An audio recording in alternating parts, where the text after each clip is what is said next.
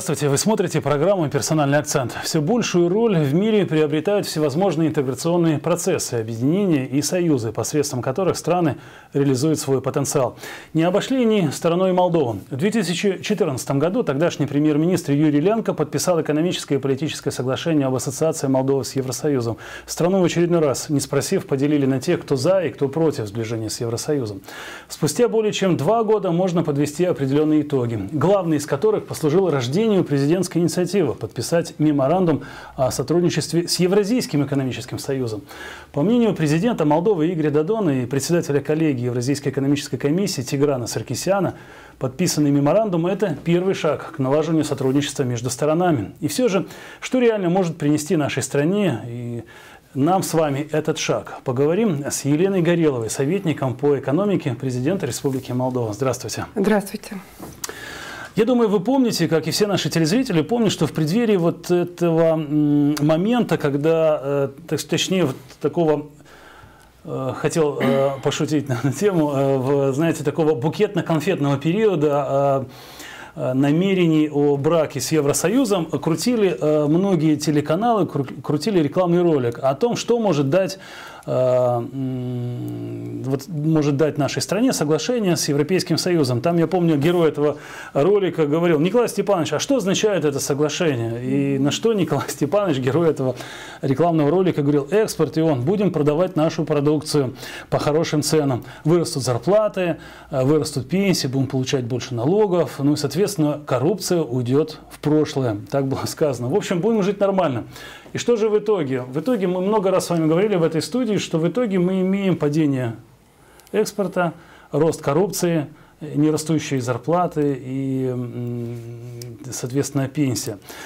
А, сегодня э, наша столица стала местом, э, э, ну, не знаю, так, таким местом проведения, местом проведения форума с участием стран, входящих в ЕАЭС. Ну, такое новое абсолютно, э, ну не абсолютно, но уже существует порядка двух лет, насколько я понимаю, э, интеграционное сообщество стран, желающих э, снова идти вперед с общим рынком, с новыми какими-то общими промышленными показателями новое объединение. И в этой связи как раз возникает э, тот же вопрос, Николай, который адресовывает герой ролика Николай Степанович. Что это нам даст? Ну, сразу хочу сказать, нового ролика с этим товарищем не будет, и с другим товарищем тоже не будет. Э, то, что мы не получили тех эффектов, которые ожидали от соглашения об ассоциации, это не вина Евросоюза и не вина самого соглашения. Скорее всего, это вина неумения нашего руководства использовать то, что можно было бы использовать. Хотя и в самом соглашении есть моменты, которые нужно менять для того, чтобы это приносило какое-то благо Республике Молдовы. Получилось так, что с 1 января 2015 года вступила в силу договор о создании Евразийского экономического союза. И наша страна оказалась между двумя очень крупными, скажем так, геоэкономическими объединениями стран. На Западе у нас Европейский Союз, крупнейшее объединение, и на Востоке формируется, развивается Евразийский экономический союз – вот теперь зададимся вопросом, в каких мы отношениях с этими двумя огромными рынками, огромными игроками. Получается, что в 2014 году Молдова подписывает глубокое соглашение с Европейским Союзом. Основная часть, часть, политическая часть есть, но основная часть это экономическая, это создание зоны свободной торговли, это обязательства, которые мы взяли на себя перед Европейским Союзом, там внедрение более 400 регламентов, директив Европейского Союза, мы как бы меняем свое законодательство, свою нормативную базу под э, Европейский Союз. В то Это же время... вот так называемые ГОСТы? Ну, ГОСТ уже практически не остались, да. называется сейчас технические регламенты. Да. И, естественно, мы очень много санитарных, фитосанитарные нормы, очень много правил, которые мы должны внедрить согласно этому соглашению, и там определены сроки, в которые мы все это должны внедрить. У нас как бы есть э, соглашение вот с этим э, крупнейшим образованием, Европейским Союзом. В то же время в самом соглашении оно имеет бессрочный, бессрочный характер, и в самом соглашении где не написано, что, допустим, Молдова на каком-то этапе может рассматриваться как страна-кандидат, или на каком-то этапе она может рассматриваться как страна, будущий там, член Европейского Союза. У нас этого будущего нет. Это просто само соглашение говорит о том, что Молдова остается э, партнером с которым устанавливается зона свободной торговли в течение 10 лет полностью мы переходим на э, режим беспошлиной торговли. И Молдова берет на себя обязательство менять свое законодательство согласно законодательству Европейского Союза. Вот что э, это представляет. Поэтому первый вывод. То есть мы для Европейского Союза, согласно этому соглашению об ассоциации, являемся третьей стороной. Есть такое выражение в ну, в экономических договорах э, экономического характера, что мы третья сторона. То есть мы сторона, которая не является частью Европейского Союза и не будет ею. То есть мы третья сторона. С нами, э, как вот э, с дальним соседом, с дальним родственником установили отношения, да, по переписке, скажем так. Вот и все. Но переписка ничего не обязывает. Не обязывает. Не, ну, нас обязывает. У нас глубокое такое соглашение вот с тремя странами СНГ были заключены Украина, мы и Грузия. Теперь, э, значит, мы здесь третья сторона и берем на себя вот такие обязательства, о которых я коротко рассказала, серьезные обязательства. С другой стороны, как я сказала, с 1 января 2015 года вступил в силу вот договор о создании Евразийского экономического союза. И у меня возникает вопрос, а у нас с ним какие отношения вот с этим новым образованием, где э, членами этого образования являются наши традиционные партнеры. И по советским временам, и по временам СНГ, которые существуют на сегодняшний день. Вот пять стран образовали этот союз, входят сейчас в этот союз. У нас с ним какие? У нас нет никакой договорной базы вот с этим новым образованием. То есть там ноль. Никакого соглашения, договора, меморандума, вообще ничего, никаких отношений. И по отношению к ним мы тоже третья сторона. Они заключили между собой договор о том, что они создают общий рынок. У них уже ликвидированы таможенные посты, то есть продукцию из Беларуси, допустим, в Киргизию, Казахстан вы провозите свободно, никаких таможен нет. Это общее таможенное пространство. Таможенные пошлины, они все взимают с третьих стран одинаковые. То есть у них общая таможенная политика, таможенное регулирование. Они создают общую нормативную базу, там, сертификация э, э, продукции, да, технические регламенты. Это все будет общее, как в Европейском Союзе. И вот мы оказываемся между двумя крупнейшими объединениями. С одной стороны, Европейский Союз 500 миллионов человек, да, с другой стороны, Евразийский экономический союз 180 миллионов человек. Огромные рынки. С одними мы устанавливаем глубокие отношения без перспективы вступления в этот союз, а с другими у нас ничего вообще нету. Да. И тут возникает вопрос, мы как дальше будем? Я хотела бы вот что еще отметить. Э, конечно, мне могут возразить, что у нас есть двусторонние соглашения со всеми странами Евразийского экономического союза, э, есть общий договор эм, СНГ о зоне свободной торговли и так далее. Отвечаю – в Европейском Союзе, который сейчас включает 28 стран, у нас тоже есть отдельные соглашения с каждой страной, с Германией, Францией, там, с Чехией. Мы тоже сотрудничаем на двусторонней основе. Но нужно понимать, что вот э, эти большие образования, они начинают развиваться по собственным законам. Что Европейский Союз, есть внутринациональное законодательство, есть общее наднациональное, наднациональное законодательство. Здесь получается то же самое, да. Есть двусторонние отношения, есть национальное законодательство в Киргизии, Казахстане, Армении, Белоруссии и Российской Федерации, но формируется общее законодательство, которое имеет э, большее значение, чем национальное. Уже национальное законодательство в сфере экономики и торговли, да, оно ориентирует mm-hmm. на это. Мы как будем? Это с теоретической точки зрения. Теперь с практической точки зрения. Нам все знают, что мы экспортоориентированная страна, что мы без внешних рынков жить не можем, и без импорта тоже, поскольку у нас нет того, того и того, да, начиная с энергоресурсов. Как мы будем дальше? И вот э, последние годы проявляется такая тенденция нехорошая для нас, что у нас э, э, нестабильно развиваются внешнеторговые отношения вот со странами Евразийского экономического союза. Объясню почему. Э, любой такой союз где есть экономическая составляющая, в Европейском Союзе она есть, но плюс еще политическая, да, а здесь Евразийский экономический союз – чисто экономическая составляющая. Зачем создаются союзы такого рода? Это не просто зона свободной торговли, это союз экономический. Они создаются для того, чтобы эти страны развивали общий рынок, на котором действуют общие правила да, о которых мы уже здесь сказали, там э, таможенный тариф, техническое регулирование, санитарные нормы, общая консолидированная промышленная политика, общая политика в сфере агропромышленного комплекса, общая политика в сфере субсидий. Развивается вот этот большой общий рынок по общим правилам начинает складываться. И развиваются секторные рынки – тоже вот на каждом секторном рынке, вот, например, политика промышленных субсидий или политика аграрных субсидий, да, тоже складывается как бы единое. Для чего? Они это делают. Они делают это для того, чтобы ориентировать на развитие только внутреннего рынка, э, для того, чтобы разумно этот внутренний рынок защищать от третьих стран, опять же таки, да, устанавливая То есть, там... А мы попадаем в категорию третьих стран? Да, мы третья страна по определению по определению, потому что там есть экономический союз, а мы по отношению к ним третья страна, и у нас нет никакого соглашения, как мы будем с ними дальше жить.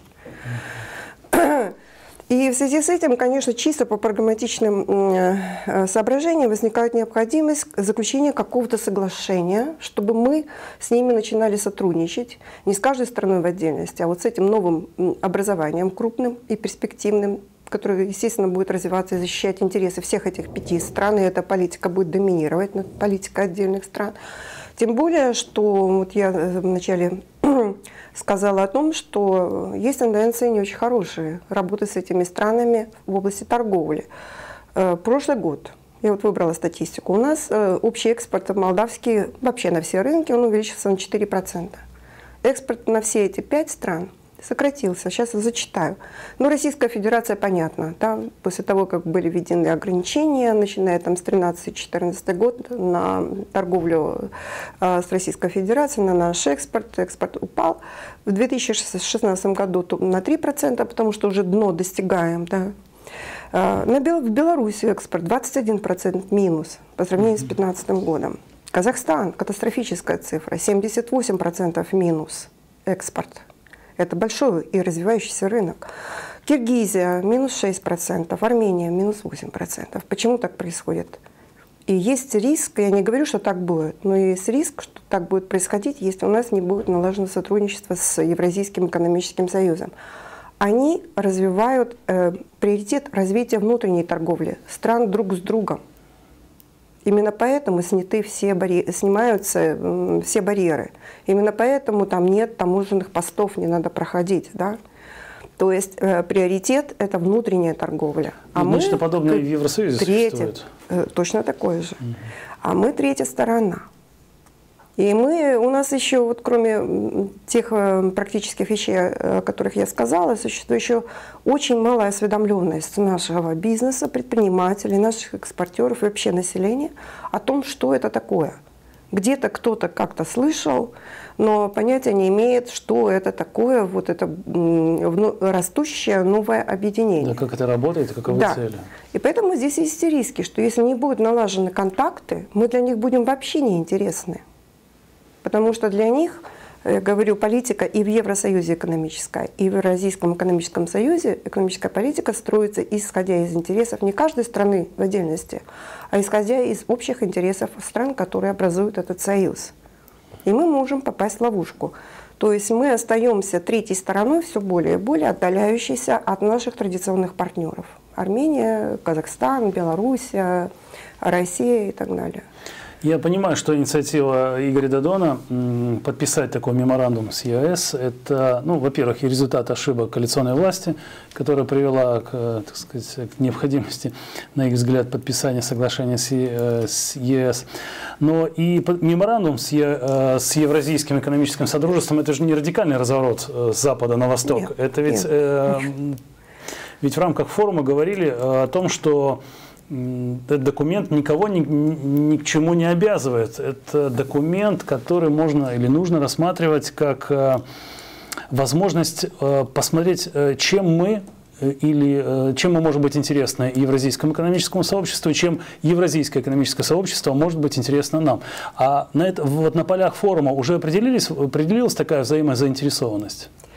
На полях форума эм, нам очень подробно осложили, осветили, особенно во второй части, Э, как работает э, Евразийская экономическая комиссия, как э, складывается общая политика, по каким направлениям, да, какие преимущества уже извлекают страны, которые стали членами Евразийского экономического союза. В первую очередь это в области торговли, это рынок огромный складывается. Во вторую очередь это трудовая миграция, потому что решаются проблемы просто автоматически, не нужно мигрантам получать там разрешение, они выходят из этого э, поля разрешительно. Да? И, и другие. Об этом был разговор, и он продолжится. Но Молдова не подает сейчас никакой заявки стать членом Евразийского экономического союза. Наша самая главная цель сейчас, чтобы был баланс, баланс отношений э, с Европейским Союзом, с которым мы связаны вот э, глубоким соглашением об ассоциации, и баланс отношений, с другой стороны, Молдовы с Евразийским экономическим союзом, с нашими традиционными партнерами торговыми и не только торговыми. Вот в этом смысл. Что такое меморандум? Очень много, э, ну как вам сказать, спекуляций вокруг меморандума.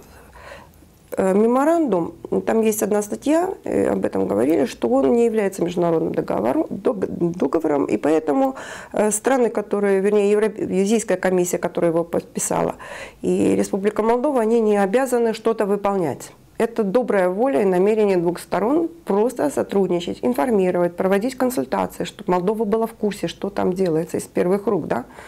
Какие у нас у них там будут переходы, связанные с внедрением технических регламентов. Нам нужно попадать на тот рынок и соответствовать продукция должна. Какие там изменения могут быть а, в области таможенного регулирования. Мы пересекаем их границу общую, у них общая таможенная граница и так далее. То есть мы должны быть в курсе в курсе и иметь эту информацию из первых рук. Она нужна в первую очередь нашим предпринимателям, нашим экспортерам. То есть нашей экономике эта информация нужна, живая такая. Никаких обязательств, как я сказала, не берет ни Евразийская комиссия, ни страны Евразийского экономического союза. Никаких обязательств не берет Молдова. Э, просто этот документ, он позволяет сотрудничать в различных формах друг с другом. И еще одно. Это поддерживает доверие к Республике Молдова на восточных, э, у наших восточных соседей. Раз Молдова делает такой шаг, и она сама инициировала заключение подобного меморандума, значит, мы ей интересно, а почему бы нам не была интересна Молдова? Потому что вот э, я часто разговариваю с деловым сообществом с, Восто... с Востока, когда они обращаются они как-то считают, и не только и с чиновниками некоторыми, они считают, что раз мы подписали такое глубокое соглашение, и то Молдова сама выбрала свой путь, мы же об этом каждый, ну, постоянно говорим, по крайней мере, руководство да. в лице премьер-министра и спикера парламента об этом постоянно говорят, чуть ли не каждый день. Нас, наш путь в Европу, европейская интеграция, и все. Естественно, люди, бизнес, э, чиновники э, из восточных стран, тем более те, которые входят в вот это объединение, Евразийский экономический союз, у них складывается впечатление, что они никому не нужны здесь в Молдове. Понимаете? Молдова идет своим путем, и мы все больше и больше как бы вот э, начинаем отделяться. Но я напомню, что мы открытая экономика, экспортоориентированная, зависимая от очень многих позиций импорта, и поэтому мы должны ну, скажем так, сотрудничать не только с Западом, но и с Востоком. Ну, вот весь багаж накопленной информации по взаимодействию с Евросоюзом и по тому, что может принести нам э, сотрудничество с ЕАЭС, ведь рано или поздно поставит вопрос о том, а что дальше? Ведь понятно, что э, наши сегодняшние экспортеры крайне нуждаются в новых рынках, потому что э, западный рынок не оказался манной небесной. Э, в, мало того, что надо привести в порядок э, регламенты, тут еще и нужно на этом рынке побороться за себя. Просто сказать, что, знаете, мы подписали соглашение, освободите полки, здесь будет наш товар. Э, может быть, только, знаете, наивный мечтать об этом. Ну, Непонятно, что всплеска да, не произошло. И а, есть еще такая историческая память того, как миллионы бутылок вина продавались, э, не вообще молдавского вина, а только с одного винзавода. Да. А у нас таковых, знаете, уже больше двух десятков. А, я уже не говорю о консервной промышленности, а о, о том, что прямо с полей продавалось. И эта историческая память, мне кажется, еще давлеет в мышлении бизнесменов и граждан Молдовы.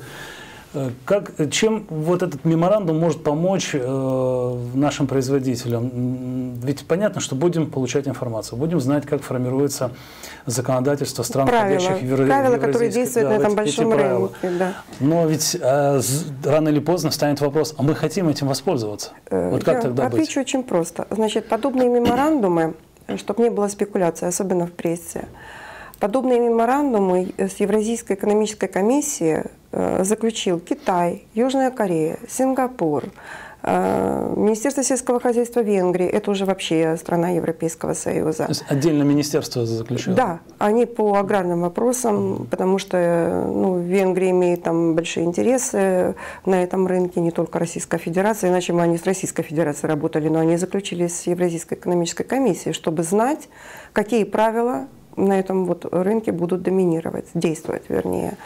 Э, Чили, Перу, Монголия, очень много стран. Поэтому, э, когда вот ко мне иногда подходит пресса, что это такое и так далее, я вообще не понимаю вопроса. Мы не исключение. Мы продолжение очень большого списка стран – с которой, которые заключили и которые сами инициировали подобные вот э, меморандумы, которые якобы ни к чему не обязывают, но позволяют им обращаться в Евразийскую комиссию, создавать рабочие группы, если какая-то проблема, например, торговые барьеры обнаружились между этими странами, да, чтобы как-то ставить вопросы и решать. Механизм решения. Механизм, да. конечно, у нас будет образовано во всех этих меморандумах э, и с Китаем, и с Монголией, и с Сингапуром, и с Южной Кореей, не самые последние страны в этом мире в экономическом отношении, да, Э, заключены, как я сказала, это подобные соглашения. И механизм работает такой. Создается совместная рабочая группа, и э, она сама определяет э, области, в которых она должна работать. То есть проводятся консультации, группа вырабатывает какие-то предложения, реагирует на какие-то, ну скажем так, несоответствия интересов сторон, да, или какие-то барьеры, допустим, в торговле. Для нас это сейчас очень актуально, особенно в связи с Россией, но такие барьеры у нас уже возникают пока очень мало проявлений, но уже возникают торговли с Беларусью. С поставкой некоторых наших товаров в Беларусь. Уже есть сигналы. Они mm-hmm. есть. И связаны с техническими регламентами, кстати. Вот. И э, поэтому это позволяет говорить друг с другом, слышать друг друга, предлагать друг другу решения. И если, э, допустим, мы можем договариваться очень долго и ни к чему не прийти, а тут мы напрямую договариваемся, поднимаем проблему, мы увидим позицию другой стороны, и мы можем предлагать одно, второе, третье решение, как-то выбирать и договариваться. Если такого меморандум исключить. И вот Евразийский экономический союз развивается, у них все больше э, внедряется собственное законодательство, которое регулирует торговлю и экономику. Да? А мы в стране совсем. Вот третья сторона с нами никаких отношений. И как мы будем действовать? Да, может наш министр экономики поехать в Белоруссию. В Беларуси, в Минске ему скажут, у нас вот такое вот действует соглашение, э, там, допустим, регламент или так далее, какой-то нормативный акт, на, который разработан на национальном уровне, у нас действует в Евразийском экономическом союзе, ничем помочь не могу. Ну, министр возвращается поедет обратно, он тоже руками. точно так же, он поедет э, в Астану да. с тем же вопросом. Его точно так же отправят в Евразийскую экономическую комиссию. Понимаете? Значит, нам нужно какое-то соглашение, чтобы мы, по крайней мере, могли проводить консультации, решать какие-то вопросы и знать, что там готовится следующее, чтобы не терять вот э, этот рынок. Ну, если такую перспективу просчитать взаимоотношения э, или развитие взаимоотношений наших экспортеров и в, с учетом Э, тех перспектив, которые открывает рынок стран Евро, ЕАЭС. Не закрывает, скажем так. Да, не закрывает. Вот это нам да, снимает вот риски закрытия. Закрытия рын, рынка. То есть возникает, ну, будем говорить, так сказать, э, ну, такая гипотетическая беседа скептиков и оптимистов. Э, ну, скептик будет говорить, ну, какие перспективы есть у этого нового экономического содружества. Ведь, смотрите, объединились страны, которых э, ну, сегодня э, является общим таким родимым пятном. Это то, что случилось с ними в постсоветское время. Э, падение экономики, слабая, будем говорить, политическая система, э, слабая, разви, э, слабая развитость политической системы, потом очень низкий уровень ВВП на душу населения. То есть это очень, будем говорить, слабые рынки, и плюс еще и рух, ру, промышленность, которая была разрушена в, в эти постсоветские 90-е, когда все приватизировалось прямо на руинах. И вот что можно было бы возразить этим скептикам, вот вам, как экономисту? Самое простое – это ждать 2-3 года, когда нас на, том, нас э, на том рынке вообще не будет. Если мы не будем следить, что там, что там делается, какие правила там начинают действовать. Если нас устраивает, допустим, только рынок Европейского Союза или, допустим, многие наши предприниматели, экспортеры ориентируются на страны Африки, вот на юго-восточные регионы мира, да, ну тогда нет проблем. Ну и проблемы-то есть. Мы не самая развитая страна из бывших советских. Из них это Казахстан, Россия и Белоруссия. Те, которые уже много лет как превзошли уровень развития 90-го года, когда распадался Европе... Э, Советский Союз, да, то есть они уже поднялись над этой планкой, идут вперед. Мы нет, к сожалению, к большому. Мы еще не подошли к уровню 89 -го года, 90 -го года. Поэтому рассуждать с таких позиций, что мы такие крутые в экономическом плане, да, нам вот это не надо, наследие, мы будем только ориентироваться, там, допустим, на рынок Китая или на рынок там, Египта и на рынок Европейского Союза, это значит, что мысль движется в том направлении, что наши желания не соответствуют с нашими возможностями. А когда желания не соответствуют с возможностями, в экономике это всегда крах никто сейчас не призывает, и президент к этому не призывает, куда-то вступать. И никто нас пока еще нигде не ждет. Как я сказала, соглашение об ассоциации нам не открывает э, дорогу к кандидатству и последующему членству. В Евразийском экономическом союзе нам тоже никто не предлагает э, вступить в это сообщество. Нужно исходить из своих личных интересов нашей страны, понимая, что страна очень плохо экономически развита, и что нам нужно сейчас просто, э, ну, я бы не сказала, остаться на тех рынках, остаться на тех рынках, на которых нас знают, с которыми у нас налажены связи уже десятилетиями, если не столетиями, и э, где мы можем удержать свои позиции. Вот какая задача. Не потерять. Сегодня не потерять. Дальше, я думаю, что сотрудничество со странами Евразийского экономического эм, союза может быть более таким глубоким. Э, там, допустим, э, предусматриваются такие механизмы для предпринимателей особенно удобные. Есть Евразийский деловой совет.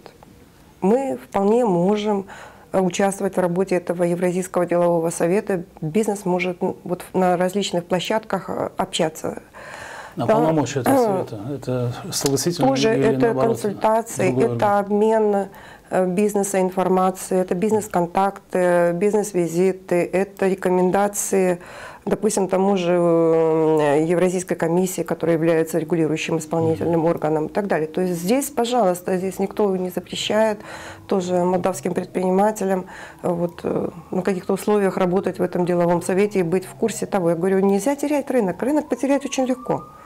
И все да, это, это знают, это такая прописная истина, но потом восстановиться на этом рынке или попасть снова, когда уже там другие конкуренты более сильные, это очень тяжело. А дальше посмотрим. Ну вот э, еще такой вопрос от скептика.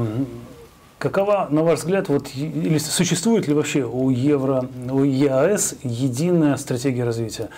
Как, э, ну не знаю, как, я понимаю, что сегодня слово политика исключается из э, разговора об этом экономическом сообществе, но тем не менее, э, пометуя о том, что политика – это продолжение экономики, то вот здесь, наверное, есть какой-то стратегический замысел. Вот, на ваш взгляд, он присутствует или ну, нет? Давайте так. Любое подобное образование, первое, что утверждается, когда оно образовывается, стратегия, я уже об этом говорила, это развитие внутреннего рынка, общий, он становится общим рынком, да, разумная защита, то есть разумный протекционизм этого общего рынка от третьих стран.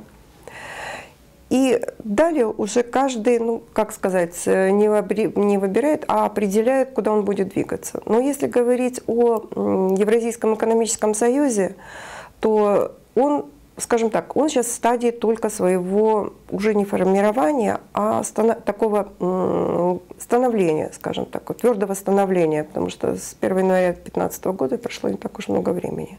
Yeah. Евросоюз складывался десятилетиями, тот, который мы сегодня имеем. Значит, о чем там э, говорится? Там говорится, э, я имею в виду стратегические такие вещи. Это формирование общего рынка агропродовольственной продукции. Нам, конечно, это было бы очень интересно. Этот рынок, э, во-первых, мы бы э, четко понимали свою нишу на этом большом 180-миллионном рынке, свое место, свои перспективы, и наши производители-экспортеры чувствовали бы себя более уверенно. Если мы там, допустим, заняли какую-то нишу там, производства, ну, грубо говоря, на сегодняшний день наша экономика изменяется черешней, вином и некоторыми другими агропродовольственными По крайней мере, мы бы знали, что наше место, наша ниша там всегда будет. И интересы Молдовы таможенными пошлинами по этой продукции будут обеспечены. Да? Таможенными пошлинами я имею в виду от третьих стран. Э, сейчас э, активно на этом рынке проводится политика импортозамещения не только потому, что случилась такая грустная история санкционной борьбы между Российской Федерацией и Европейским Союзом. К этому, в общем-то, пришли и Казахстан, и другие, что нужно производить свое. Здесь мы тоже могли, потому что э, если Молдова там, то Молдова свое означает и молдавское. Да? На этом общем рынке ну, свое да. это белорусское, армянское, киргизское, казахское, То, российское. Что исторически сложилось. Нет, они пять образовали, это их общий рынок. И там не только там э, Российская Федерация, это мое, а это, это наше общее. И мы уже планируем, даем какие-то сигналы производителям, да, где мы вас защитим от ненужных сегодня То есть конкурентов. и этот момент как Конечно, свое. конечно. Допустим, Казахстану невыгодно, допустим, возить чего-то из-за рубежа. Он хочет производить свое, у него есть потенциал.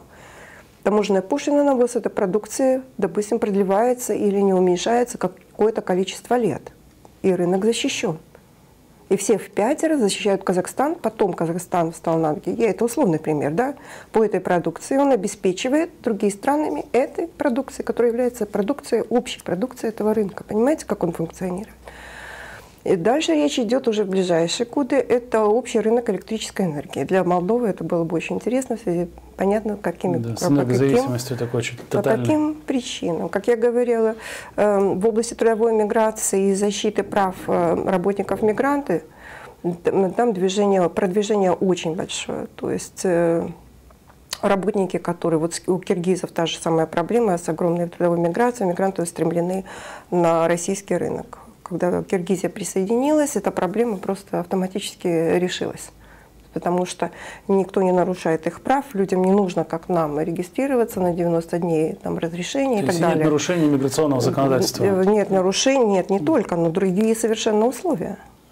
Не нужны разрешения на работу и, и так далее. Очень много что справок и бумаг, которые требуются для То, того, чтобы получить... Жизнь конечно, конечно, общий, общий рынок и, и так далее. Могу продолжить, но я думаю, что Ну вот все равно возникает такой вопрос. Смотрите, после 91 года э, каждая экономика тех стран, которые сейчас, сегодня образовали Евразийский экономический союз, они развивались по каким-то своим э, сугубо национальным условиям. Да. Э, Казахстан, с учетом того, что в советское время это была такая советская житница, Э, Белоруссия, э, опять же, там э, развивалась перерабатывающая промышленность, машиностроение, да. да, то есть Российская Федерация. И вот насколько учитывались интересы вот, э, сформировавшихся национальных экономик? Э, ведь в данном случае либо переформатирование, либо наоборот вписывание в какой-то общий план. Это простой вопрос. Значит, первый, в первую очередь у них был создан таможенный союз. Что это такое? И сейчас он тоже есть внутри Евразийского экономического союза. Это был первый и очень серьезный э, шаг. Это означает, что страны, которые образуют таможенный союз, ну сейчас уже это уже экономический союз, это высшая ступень после таможенного союза, они договаривались о чем? Какие мы таможенные пошлины установим против третьих стран? И там учитывались уже интересы каждой страны. Какую продукцию нужно защитить э, в Российской Федерации высокими пошлинами. Может быть, это невыгодно белорусам. Они хотят вести, допустим, я не знаю, из Германии или откуда-то. Давайте искать компромисс. На какое время мы эту пошлину установим?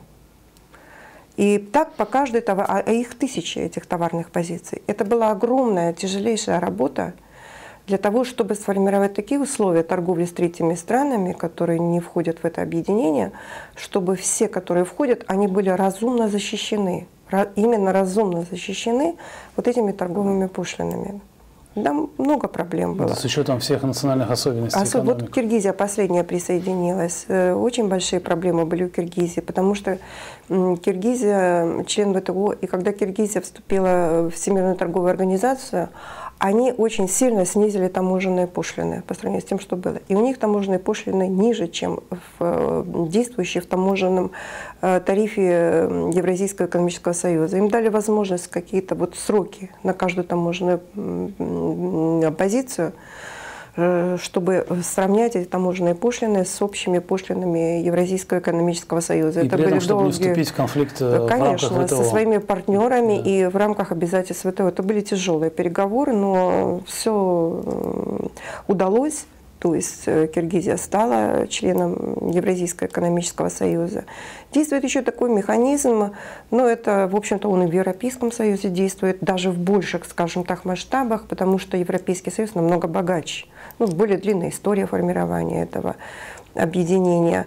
Когда страны с не очень развитой экономикой присоединяются, как, допустим, Киргизия, Армения, да, им помогают. Создается фонд, который направляются средства из того же Евразийского банка развития, есть такой банк развития, он одновременно, как я говорю, в двух лицах. И МВФ в рамках Евразийского экономического союза, и Мировой банк, который выделяет средства на инфраструктурные проекты, на развитие там, того же агропромышленного, кстати, комплекса, на дороги, на промышленность, на строительство энергетических объектов и так далее. И выделяются ну, привычно, средства привычно для того, чтобы... обычно МВФ. Нет, это я говорю, там, там по-другому. Я могу рассказать более подробно, как там действует вся эта система. Э, то есть в Европейском Союзе, если вы помните эти волны э, вступлений новых членов тогда, то им тоже очень помогают и помогают до сих пор. Вот э, младоевропейцам да, выделяются средства и на ту же Польшу, на страны Прибалтики, Болгария, Румыния. Они получают средства больше больше до сих пор из э, общих фондов Европейского Союза для того, чтобы подтянуть. У них там действует политика солидарности, так называемая, э, которая направлена на то, чтобы ликвидировать ну, большие неравенства в экономическом развитии разных стран. Это все знают, и мы об этом знаем. Точно так же действует и в Евразийском экономическом союзе такая же политика помочь странам, которые вот вновь э, намерены вступить в это, чтобы решить, ну, скажем, такие наиболее рисковые, наиболее острые проблемы. И действует точно такой же механизм. Конечно, не, не так много денег на это выделяется, хотя, ну, как, как сказать, если сотни миллионов долларов, это, не, это тоже не маленькие деньги для маленьких стран. Э, так что э, я хочу сказать о том, что подобное объединение интеграционное, это высокая степень интеграции, когда экономический союз уже страны создают, то они двигаются, в общем-то, помогают друг другу, защищают общие экономические интересы относительно всех остальных стран, которые не входят в это объединение, помогают финансово и помогают экономически друг другу. Но э, понимаем разницу между даже вот между Евро, э, Евразийским экономическим сообществом и Евросоюзом, хотя бы даже уже по времени, так сказать, возникновения. Вот. У европейцев история это десятилетие, а, здесь же всего каких-то да, да, пару лет, два и с хвостиком. Ну, с маленьким зависанием. Я это все понимаю, но вот смотрите, к чему пришло, пришло европейское сообщество. Уже сегодня говорится о том, что ну, формируем Европу разных скоростей. То есть есть э, лидеры, которые, чей ВВП растет э, с одной скоростью, да, и есть аутсайдеры, которые ну, никак не могут даже при той экономической помощи согласно политике солидарности, выбиться из, э, из исторических и текущих долгов. А, и, видимо, там у них назрело. Не случится ли здесь такая разбалансированность? Потому что, ведь, смотрите, э, вступают в совершенно разные по экономическому развитию государства. Ведь сложно, наверное, конкурировать или соперничать с Российской Федерацией, той же Киргизии. Сложно, ну, даже Казахстану при той так сказать, э, экономике, которая существует в этой стране, и при том экономическом потенциале, который сохранила Беларусь, тоже сложно конкурировать. И вот опасения рождения вот ЕАЭС разных скоростей, возможно ли? Э, или это просто слишком далеко ну, забегаем вперед в этом сценарии развития? Ну, появился новый объект для разговоров. Это очень хорошо, что у нас вообще стали говорить о Евразийском экономическом союзе, даже не в том ключе, что мы там будем, а просто знать, что у нас на Востоке совсем-совсем близко происходит. Значит, э, Европейский Союз, проблемы, о которых вы сказали, и появление этой теории Европы разных скоростей, с чем было связано? Это многие и понимают не только экономисты, и люди, интересующиеся политикой, и смотрящие новости. Здесь никакого открытия не сделаю. Э, значит, то, что Европейский Союз э, формировался, и у него действуют правила, когда не очень учитываются национальные интересы. Но голосование такое в Еврокомиссии и в других органах – что каждая страна, э, чем выше ее вес, да, потом по численности и другим параметрам, тем больше ценится ее голос, грубо говоря.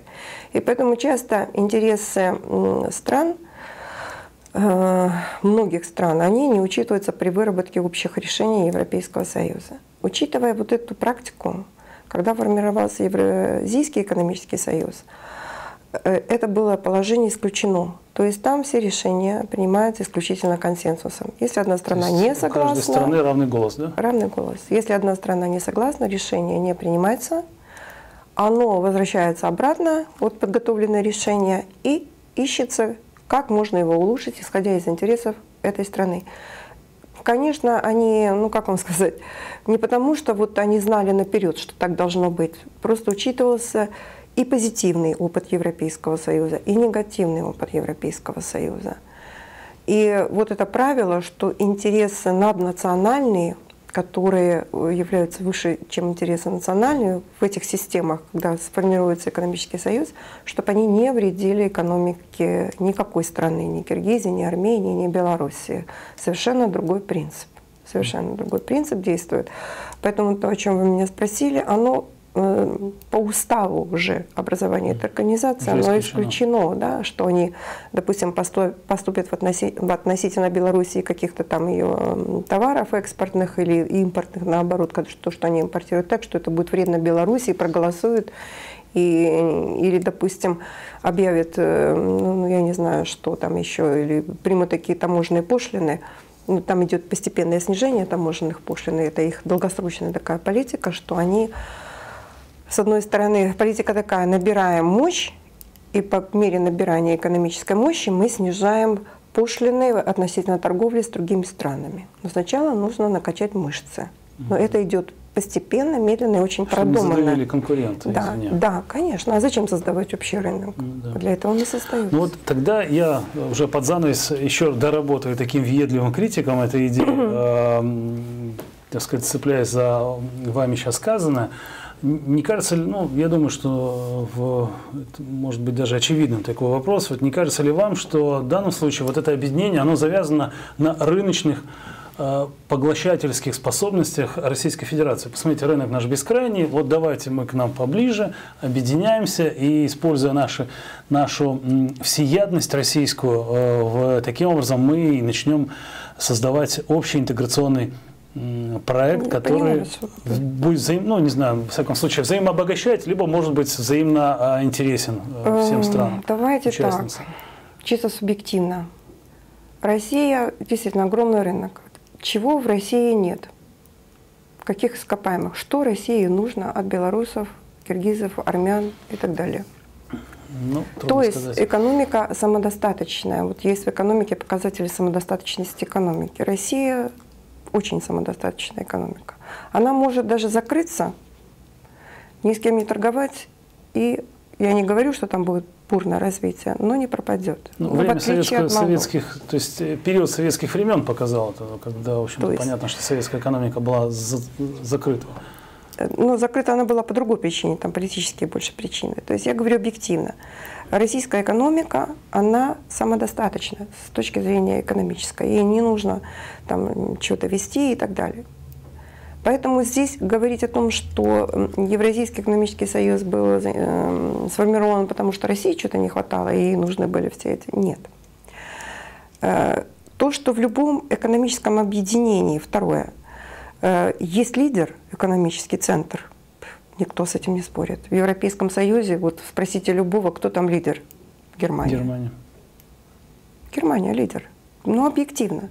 Так и в этом объединении лидер по мощи, да, по, допустим, распо...